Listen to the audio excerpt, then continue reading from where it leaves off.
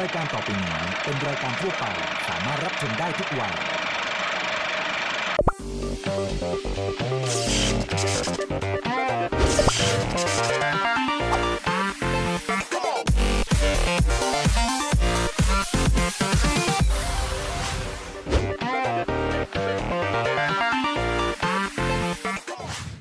สวัสดีค่ะ สวัสดีครับ พบกับเท็ดดี้และนานานะครับ ในรายการเต้นปากเต็มคำครับบ่ายสามโมง ทาง Workpoint กดหมายเลข 23 ก็จะมาเจอรายการของเรานะครับ ทุกสัปดาห์ เต็มปากเต็มคำเป็นรายการทำอาหารในครอบครัวค่ะ โดยอาจารย์นิ่งศักดิ์เนี่ยทำอาหารเมนูหนึ่งครับนานาเท็ดดี้ทำอาหารอีกหนึ่งเมนู โดยที่พวกเราเนี่ยนะคะ ใช้วัตถุดิบเดียวกัน ครับผมเป็นวัตถุดิบเดียวกัน แต่ทำถึง 2 เมนูแล้วก็มั่นใจได้เลยนะครับ คุณผู้ชมว่าน่ากินน่าอร่อยทั้ง 2 เมนูเลยแหละครับ วันนี้เมนูที่ครอบครัวเราเตรียมมา ฝากคุณผู้ชมจะเป็นอะไรขึ้นอยู่กับโจทย์นะคุณผู้ชม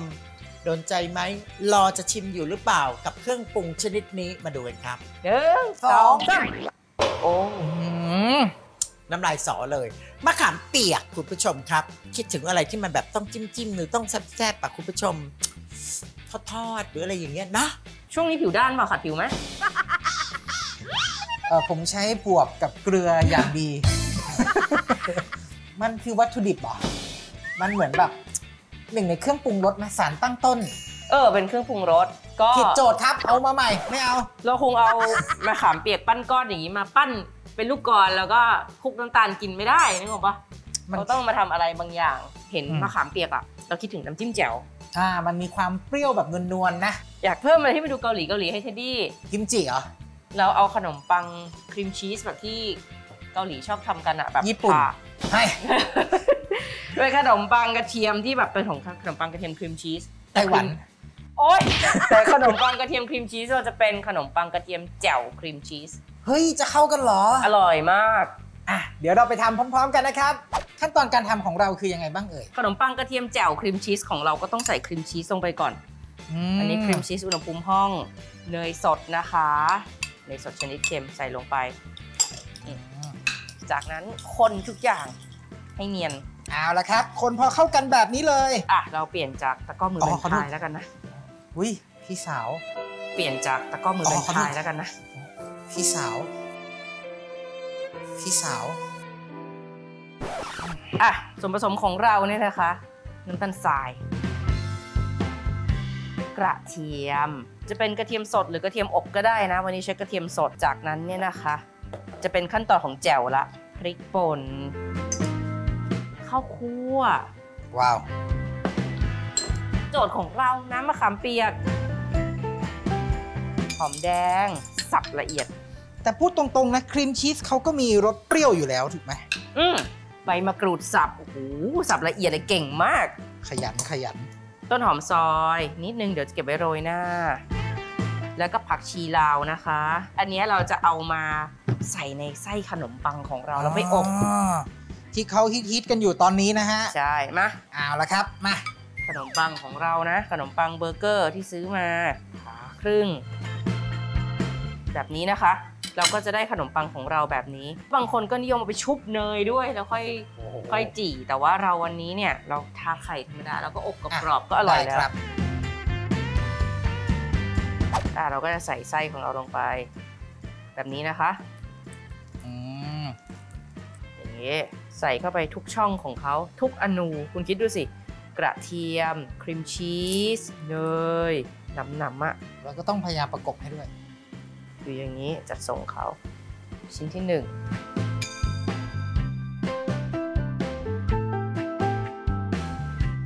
แล้วเดี๋ยวเราเอาไปเข้าหม้ออบลมร้อนหม้อทอดลมร้อนนะฮะ ข้างนอกเขาก็จะกรอบๆแล้วข้างในก็จะฉ่ำไปด้วยครีมชีสกับเนยแบบนี้โหช่องไหนไม่มีนี่แย่เลยนะไม่ได้นะแต่เดี๋ยวก่อนก่อนนำเข้าอบ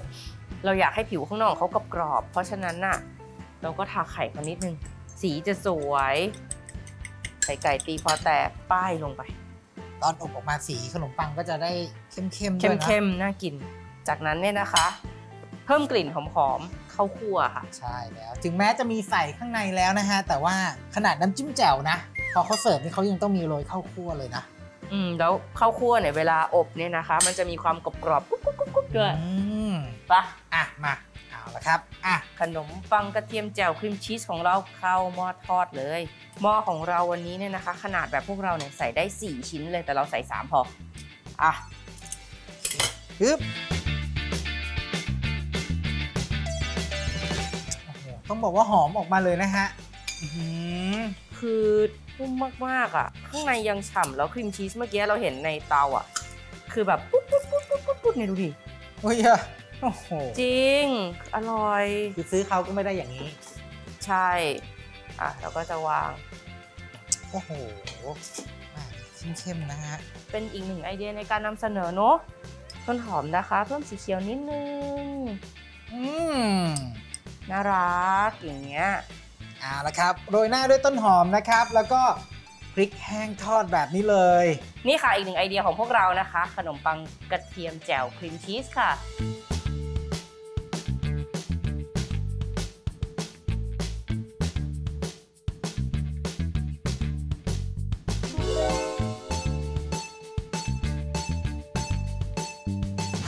ไส้กรอกจะไส้กรอกจ้า ทอดใหม่ๆร้อนๆค่ะกรอบถึงสวรรค์เลยค่ะ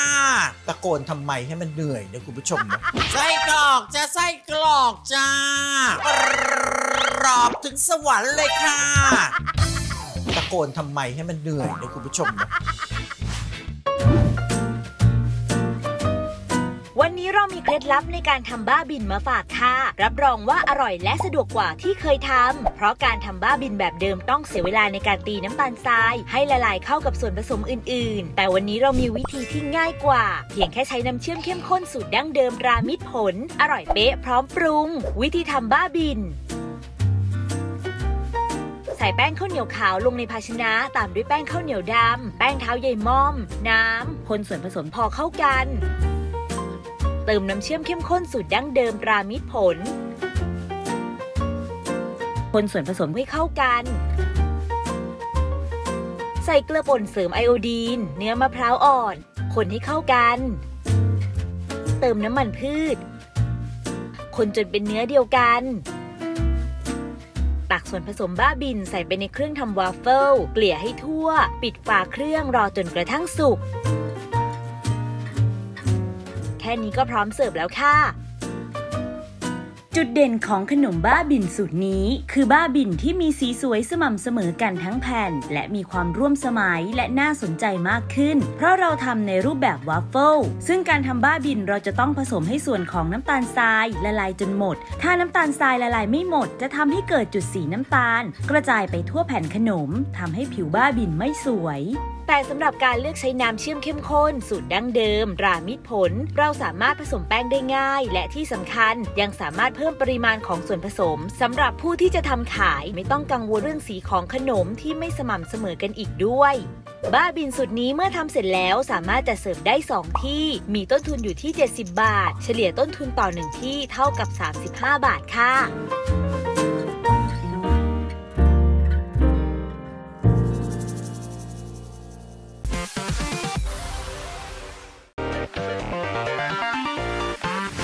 น้ำมะขามเปียก ใหม่ๆ หอมๆ คุณภาพดีๆ เปรี้ยวสะใจต้องทำน้ำจิ้มคุณผู้ชม แล้วก็ต้องจิ้มกับของทอดที่ถูกใจ วันนี้ก็เลยจะทำไส้กรอกอีสานทอด เตรียมน้ำจิ้มก่อนเลยคุณผู้ชม น้ำจิ้มเนี่ยใช้เวลาทำนาน อย่าเพิ่งรีบไปทอดของแล้วมาทั้งทำน้ำจิ้ม จบนะคุณผู้ชม นี่น้ำมะขามเปียก ไม่พอก็เติมอีกนะให้มันเปรี้ยวสะใจ ใส่น้ำมะขามเปียกเสร็จเรียบร้อยแล้ว อันนี้เปรี้ยว มันก็ต้องมีหวาน หวานเนี่ยจะเป็นน้ำตาลทรงน้ำตาลทรายหรืออะไรก็ไม่ได้ นี่แนะนำคุณผู้ชมเลยจริง ๆทำน้ำจิ้มอร่อยๆเนี่ยมีดผลปี๊บน้ำตาลอ้อยผสมน้ำตาลมะพร้าว สีสวย ตักง่าย กลมกล่อมทุกเมนูเขาทำมาสำหรับเพื่อการนี้โดยเฉพาะเลยนะคุณผู้ชม ปิ้งปิ้งย่างย่างๆทำน้ำจงน้ำจิ้ม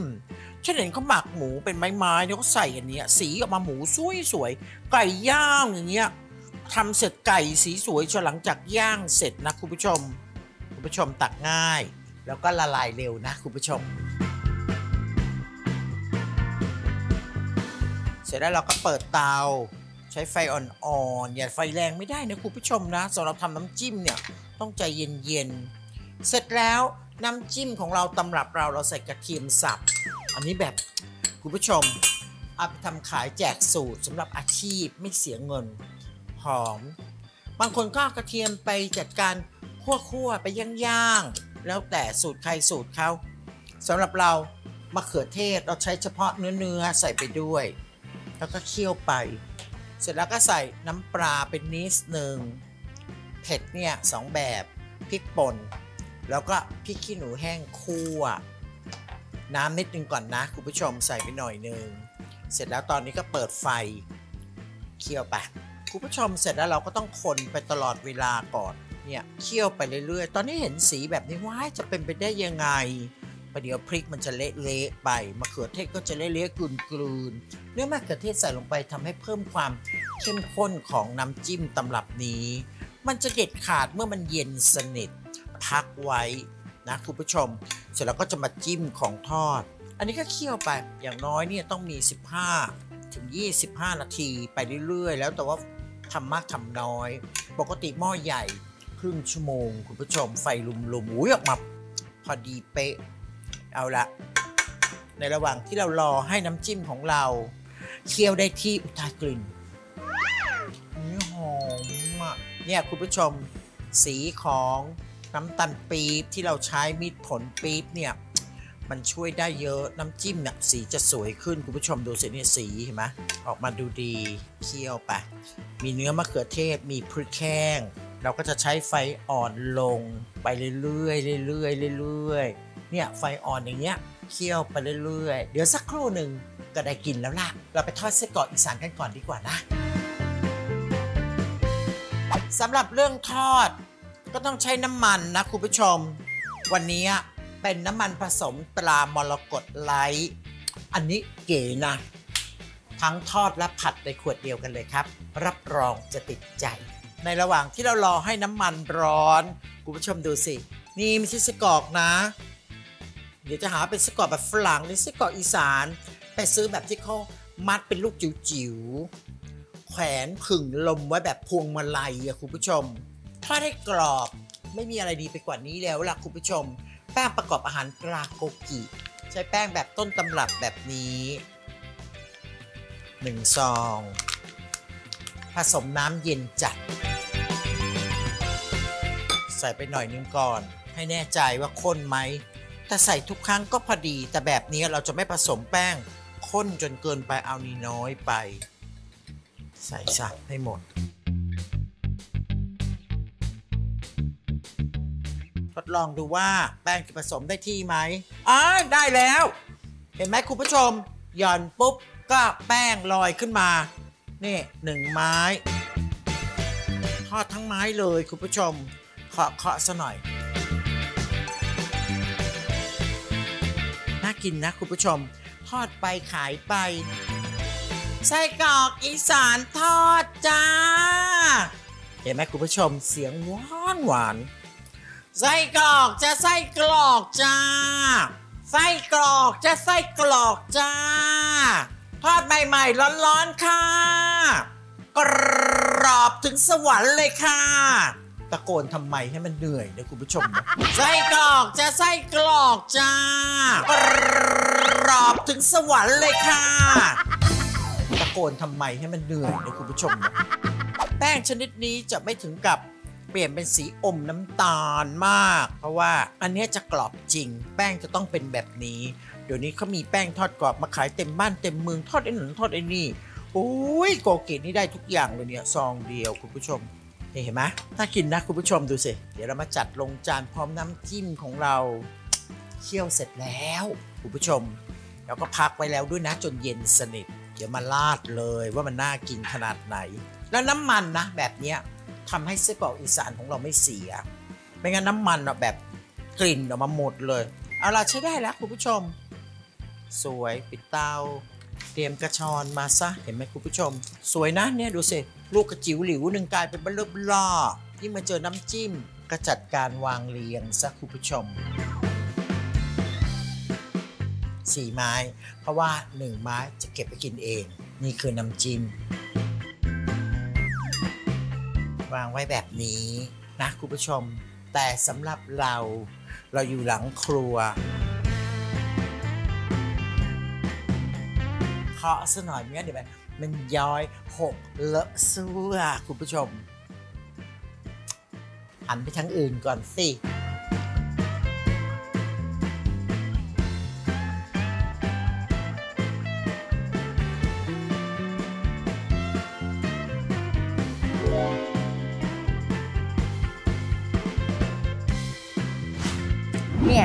เนี่ยเสิร์ฟตามร้านคาเฟ่ชิ้นหนึงเป็นร้อยนะทำกินเอง ราคาเท่ากันแต่คุณได้ 3 4 ชิ้นอะ ไม่ได้ถูกไม่ลได้งถูกลง เพราะคุณใส่เยอะ เออใช่ มันไม่ถูกลง แต่คุณคิดดูดิว่า คุณได้กินของคุณภาพเน้นๆอะ ช่วงอร่อยได้สุขภาพกับ KB Care อาหารการกินเป็นสิ่งสำคัญนะคุณผู้ชมนะ ไม่ใช่เพียงแค่เรื่องอื่นๆเท่านั้นที่เรามองเห็นเป็นสิ่งสำคัญ เรื่องกินต้องกินทุกวันวันละสามผลสำคัญมาก วันนี้เรามีข้อความที่ส่งมานะครับ คุณผู้ชมใน Line add KD Care นะครับเขาบอกว่าหนูพยายามลดน้ำหนักอยู่นะคะ ก็เลยเลือกรับประทานอาหารที่มีผักเยอะๆ ก็เลยรับประทานน้ำพริกหนุ่มค่ะ เป็นคนชอบแล้วก็ทำไม่ยาก จากเพจลดเค็มลดโรค บอกว่าน้ำพริกหนุ่มโซเดียมสูงมาก 100 กรัมโซเดียมตั้ง 1,560 มิลลิกรัม คนควบคุมน้ำหนักต้อง control โซเดียมด้วย ไม่ฉะนั้นตัวมันจะบวมน้ำหนักมันจะขึ้นตลอดเวลา อาจารย์ขา มีสูตรที่ทำน้ำพริกหนุ่ม เสร็จแล้วไม่เค็ม ไม่เสียสุขภาพไหมคะ มีสิทำไมจะไม่มีน้ำพริกหนุ่มตำรับนี้ดีต่อสุขภาพทำให้คุณรับประทานผักได้เยอะแยะเลย ถ้าหากคุณผู้ชมใช้ซอสปรุงรสทดแทนน้ำปลาตราเคดีแคร์ไปดูเลยครับ วิธีทำน้ำพริกหนุ่ม โขลกพริกหนุ่มย่างไฟ หอมแดงคั่ว และกระเทียมคั่วให้ละเอียดเข้ากันดี ปรุงรสด้วยน้ำตาลปี๊บและซอสปรุงรสทดแทนน้ำปลาตรา KD Care เคล้าส่วนผสมให้เข้ากัน ตักใส่ภาชนะเสิร์ฟ รับประทานคู่กับไข่ต้ม ไส้อั่ว แคบหมู และผักสดตามชอบ เคล็ดลับการทำน้ำพริกหนุ่ม โดยปกติน้ำพริกหนุ่มเป็นน้ำพริกที่เวลาปรุง จะเน้นรสชาติเผ็ดนำใช้เกลือเป็นวัตถุดิบสำคัญนำมาปรุงรสทำให้น้ำพริกหนุ่มมีรสชาติอร่อยแล้ว ยังมีน้ำปลา หรือน้ำปลาร้าเมื่อใส่ลงไปจะมีปริมาณโซเดียมที่สูงมากสำหรับโซเดียมของเครื่องปรุงรสทั้งหมดในสูตรนี้จะมีปริมาณโซเดียม 1,500มิลลิกรัม แต่น้ำพริกหนุ่มจานนี้ที่อาจารย์ยิ่งศักดิ์ปรับสูตรให้ โดยใช้ซอสปรุงรสทดแทนน้ำปลา ตรา KD Care มีปริมาณโซเดียม 600 มิลลิกรัม ลดลงถึง 900 มิลลิกรัม เปรียบเทียบค่าโซเดียมในการใช้น้ำปลาสูตรปกติที่ลดลงถึง 60%เลยค่ะ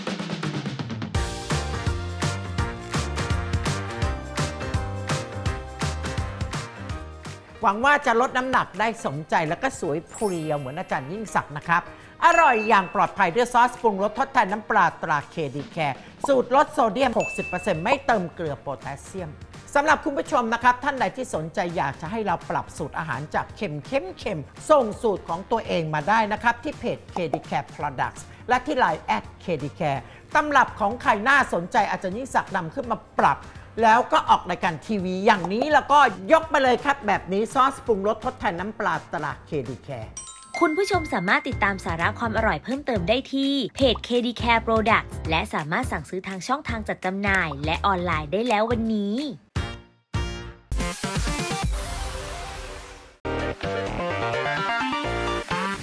คุณผู้ชมทราบไหมครับว่ามะขามเปียกของไทยเราตอนนี้โด่งดังไปทั่วโลกมิดเดิลอีสตะวันออกกลางแล้วก็ยุโรปเนี่ย ชอบความเปรี้ยวของทัมมารีนมะขามเปียก และโดยเฉพาะอย่างนี้จะต้องเป็นน้ำมะขามเปียกเข้มข้น หรือมะขามเปียกที่เป็นฝักๆจากประเทศไทยนะ เพราะเขาบอกว่าเปรี้ยวเป็นธรรมชาติ อุดมไปด้วยวิตามินซี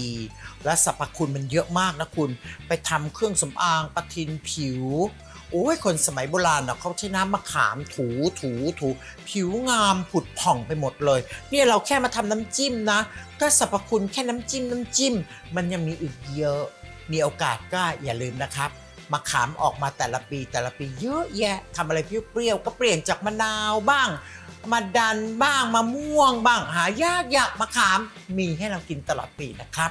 เนี่ยเสิร์ฟตามร้านคาเฟ่ชิ้นหนึ่งเป็นร้อยนะทำกินเอง ราคาเท่ากันแต่คุณได้3 4ชิ้นอะไม่ได้ถูกไม่ลได้งถูกลงเพราะคุณใส่เยอะเออใช่มันไม่ถูกลง แต่คุณคิดดูดิว่า คุณได้กินของคุณภาพเน้นๆอะ คุณได้กินรสชาติที่คุณอยากลองอืมคุณได้กินรสชาติใหม่ ๆ แบบนี้นะฮะอืมแหมบอกได้เลยว่าต่อไปนี้เนี่ยเรามาเจอมะขงมะขามอะไรแบบนี้ ไม่ยี่หระอ่าเพราะว่าภาจะษาเอานี่โอ้โหจะเอามากินแบบไส้กรอกอีสานทอดนะฮะ แล้วทำเป็นน้ำจิ้มลิซ่าแบบอาจารย์นิ่งศักดิ์ก็อืได้มหรือนี่เป็นแบบสไตล์คาเฟ่เลยนะครับ ขนมปังกระเทียมแจ่วครีมชีสแบบนี้ก็โอ้โหน่ากินมากๆเลยครับ ยังไงลองเอาไอเดียจากมะขามเปียกของพวกเราไปลองทำกันดูนะคะตำรับดีๆ แบบนี้คุณผู้ชมอย่าลืมนะครับครับผมเมนูอร่อยๆแบบนี้นะครับ ติดตามชมกันได้เลยนะครับ ที่รายการเต็มปากเต็มคำนะครับ พร้อมๆ กับอาจารย์ยิ่งศักดิ์นานา แล้วก็เท็ดดี้นะครับ เวลาบ่าย3ามโมงทางช่อง Workpoint TV หมายเลข 23 ครับสำหรับวันนี้รายการของเราต้องลาคุณผู้ชมไปแล้วนะครับ สวัสดีครับ วันนี้เราจะทำให้คุณผู้ชมได้ดูนะครับทำไมอาจารย์เขาไม่ทำโยเกิร์ตรสสตรอเบอรี่หรืออะไรอย่างเงี้ย โยเกิร์ตกับข้าวเหนียวมูนอร่อยนะ ต้องบอกคุณผู้ชมว่าอร่อยจริง ๆ เดี๋ยวจะว่าไม่แพงนี่ซโรเนสักหน่อยหนึ่งคุณผู้ชม ยืนยันความสด ไข่ไก่น้ำตาลทราย จากนั้นครับ โจทย์ของเราในวันนี้นะครับ โยเกิร์ตครับ เบคโยเกิร์ตโทสต์ของเรานะคะ เรามีน้ำผึ้งเสิร์ฟคู่ด้วย เผื่อใครที่ต้องการเพิ่มความหวานเนี่ยนะก็สามารถราดน้ำผึ้ง แล้วก็ทานคู่กับ baked yogurt toast ของพวกเราได้เลย ตายแล้ว จะเลือกถ้วยไหนก็เลือกไม่ได้ รับประทานคู่เลยค่ะ